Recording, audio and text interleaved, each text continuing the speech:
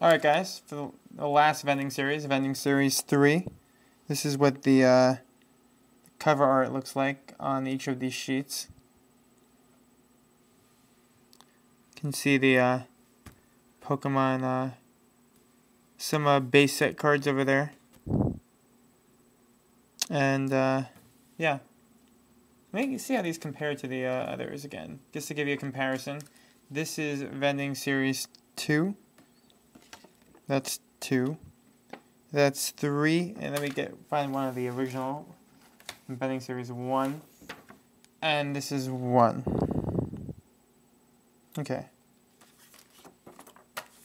So now we'll get going with vending series uh, 3.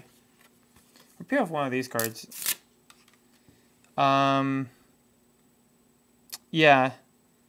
It's like a um, way to keep track of the cards you have, I guess. I'm not going to bother um, putting these in sleeves. Or maybe I should actually. Maybe it's I should just consider it part of the series. I'm not gonna. I'm just gonna put them in sleeves. What the heck?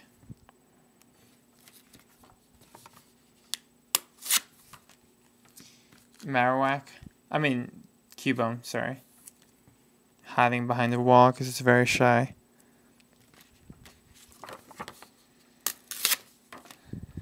Trainer. Looks like a. Uh, I forget what you call it, but the uh, the tower that involves the dead and that has all the uh, Gastlys and Haunters in it.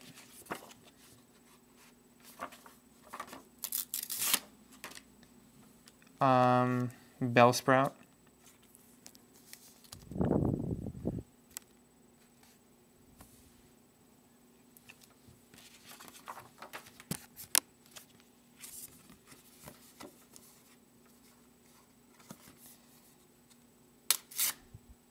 Oh wow, good. Good thing I peeled that off. Um, yeah, I think this is one of the the most valuable cards from the entire vending series. It's a uh, really really weird Pikachu. that was I think it's the, what makes this card unique is that it was completely hand drawn.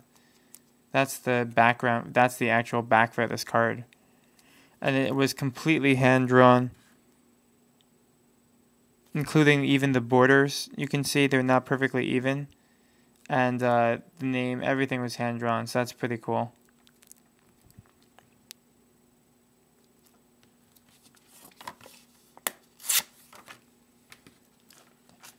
Gastly. Nice illustration there. Another Cubone.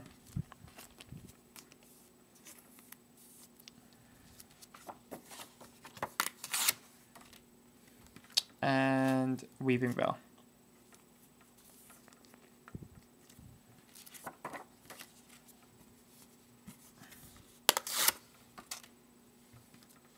Um, yeah. no comment.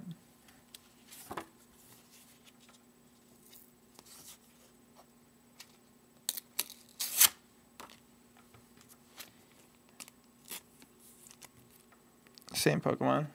Gastly. Haunter.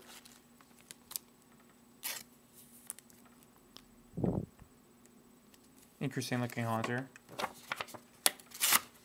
Not my favorite illustration of Haunter, but it's nice.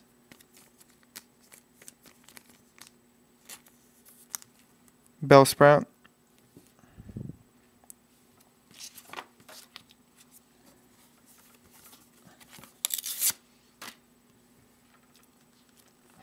No comment.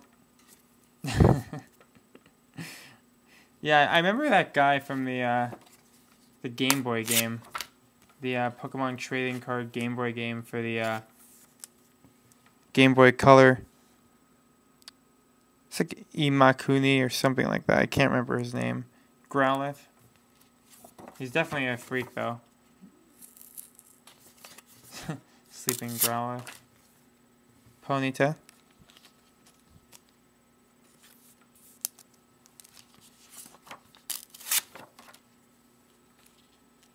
Pgo though.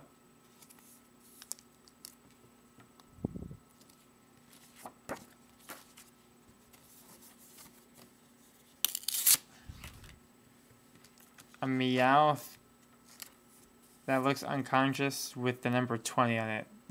that makes absolutely no sense to me, but okay. I love the uh, inherent weirdness of it. Magmar.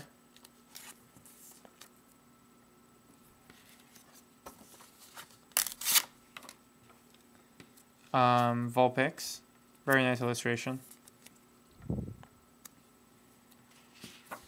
In the uh, meadows or something. Another Ponyta.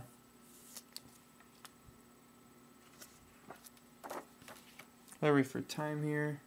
Okay, we got four minutes. Another Vulpix.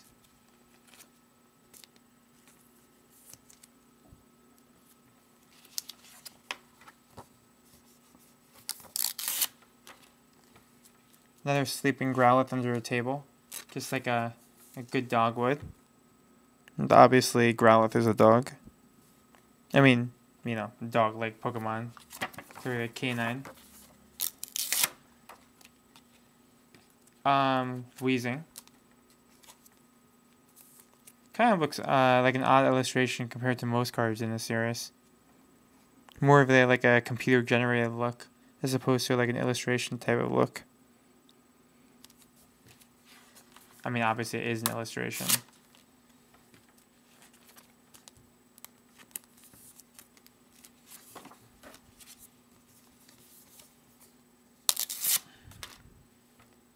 Two kids playing the trading card game.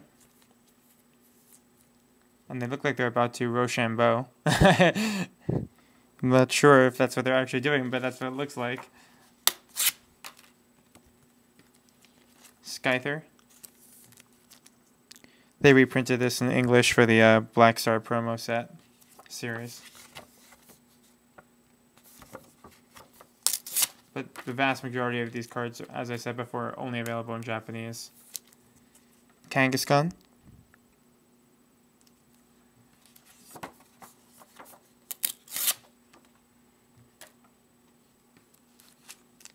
Tauros. By the way, can I just say how awesome it was that they decided to name a Pokemon Kangaskhan after Genghis Khan. That was uh, quite an imagination there.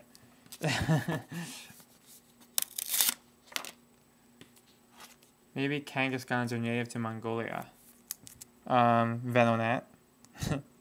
Funny looking.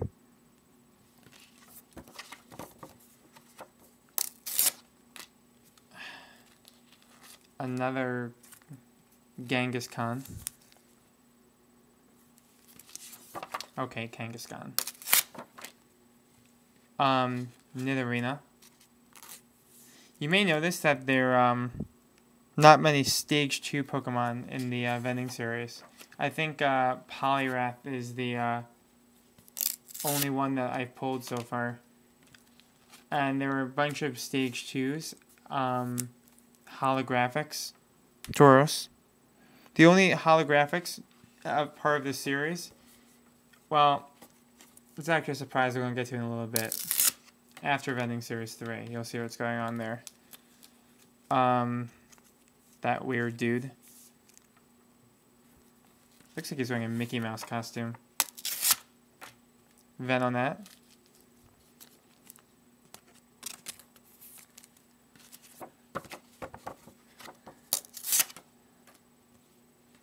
And Nidorino. Um, okay, I'm going to cut off there. See you in the next part.